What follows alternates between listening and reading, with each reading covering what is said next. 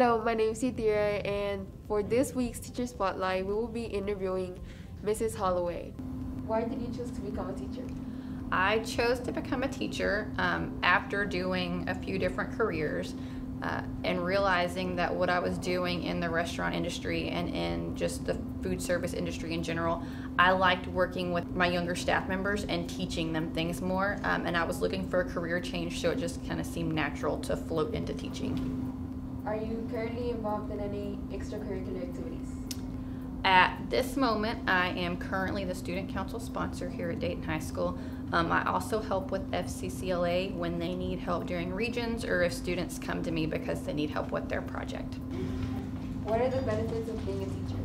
Um, I think the benefits of being a teacher are being able to help students not just learn things about this class, but learn things you know about life. So I teach family consumer science classes. Um, I teach culinary arts, intro to culinary arts, and fashion fashion design. But I like being able to teach things about that subject matter, but also being able to teach them something else that might not have to do with the subject matter. Being there for them when they need somebody, um, because I feel like students need more than just somebody that's going to teach them the content that's in their class.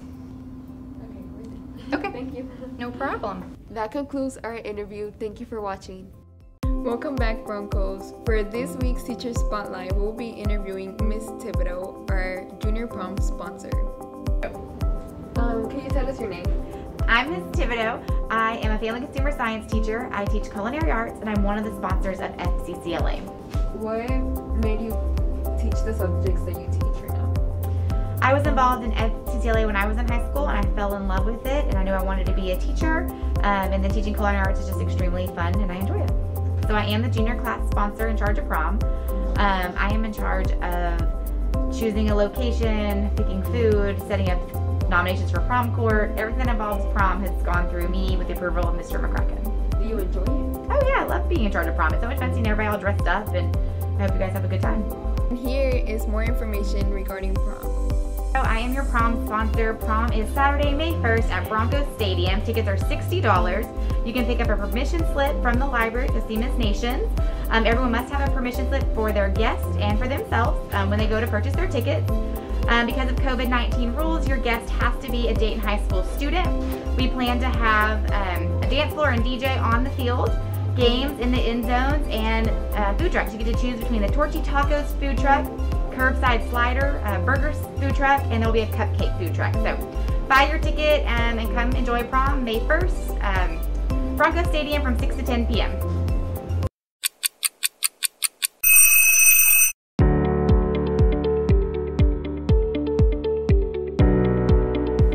Hey Broncos, as you get older, your parents won't always be there to hold your hand, and you'll have to start doing things on your own, like keeping your room clean. It's important to know how to keep your room clean since it's where you spend most of your time at home, and if you have other people over, you want to make a good impression and not seem like a slob. To keep it orderly, you should start by removing everything you have so it won't get in the way to clean any wood appliances and windows.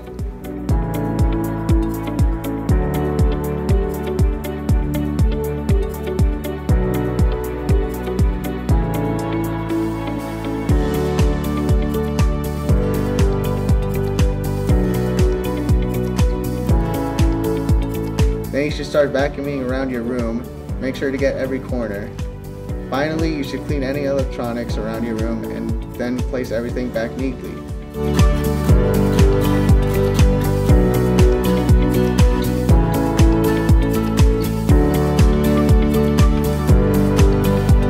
Keep in mind, it's important to spray your cleaning rag then wipe to avoid damaging your electronics. Thanks for watching this week's segment on adulting. Goodbye.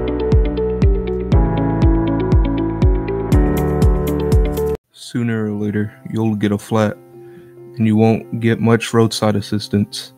I'm Mason and I'm going to show you how to change your tire. The items that you will need are a spare tire, a jack, a lug wrench, and a tire lock key. Before driving any vehicle, make sure that if any of these are missing, replace them immediately. Once your car is in a safe, stable area, park your vehicle and make sure the parking brake is engaged. First, you want to loosen but don't remove the lug nuts using the lug wrench.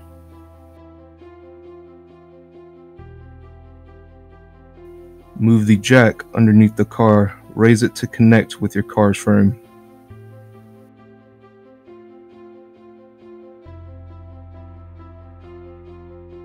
Expand the jack until the flat is approximately 6 inches off the ground.